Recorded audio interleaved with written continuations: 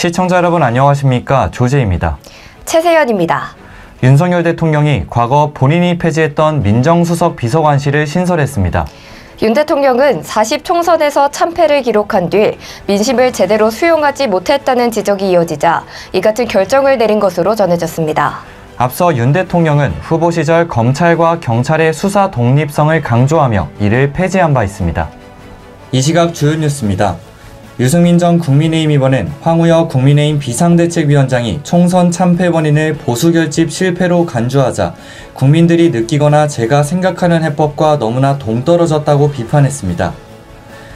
유 전 의원은 버려야 할 낡은 보수의 말씀을 하셔서 답답했다며 이런 분이 진짜 당 재건을 할 수 있겠냐고 지적했습니다. 군 인권센터가 이날 최상병과 함께 실종자 수색 중 급류에 휘말렸다 구조된 예비역 해병 2명의 편지를 공개했습니다. 이들은 할 수 있는 게 아무것도 없다는 미안함을 반복하고 싶지 않다며 윤석열 대통령께 거부권을 행사하지 말아달라고 강조했습니다.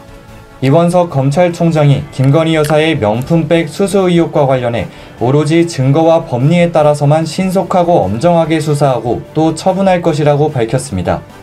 앞서 서울중앙지검은 사건을 담당하는 형사 일부에 검사 3명을 추가 투입하고 고발인 조사 일정을 조율하는 등 본격적으로 수사에 착수했습니다. 김밥 재료뿐만 아니라 반찬으로도 많이 사용되는 김액값이 치솟고 있습니다. 한국해양수산개발원 수산업 관측센터에 따르면 4월 김밥용 김의 평균 도매가가 작년 동기보다 80.1% 상승해 처음으로 만 원을 넘겼습니다. 천하람 개혁신당 당선인은 한동훈 전 국민의힘 비상대책위원장의 당권 도전 가능성에 대해 부정적 입장을 표명했습니다. 천 당선인은 만일 출마한다면 당선 가능성이 높지만 대통령과는 각을 세울 수밖에 없다고 주장했습니다. 지난달 외환 당국이 환율 방어에 나서면서 외환 보유액이 60억 달러 급감했습니다. 한은은 외환 보유액은 대외 충격에 대응하기에 충분한 수준이라는 입장을 밝혔습니다.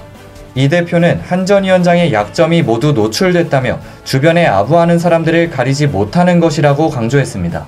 1인당 최고 33만 원 정도를 받는 기초연금이 올해 감액되면서 관계기관의 민원이 이어지고 있습니다. 기초연금 감액의 주된 이유로 은행, 저축은행 등 금융권의 이자율 상승이 꼽히고 있습니다.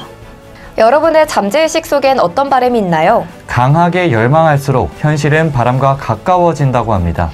세상은 내가 원하는 것이라면 무엇이든 주고자 바쁘게 움직이고 있다는 거 잊지 마시기 바랍니다. 지금까지 이 시각 주요 뉴스였습니다. 구독과 좋아요를 눌러주시면 더 좋은 뉴스로 보답하겠습니다. 지금까지 최세연, 조재입니다.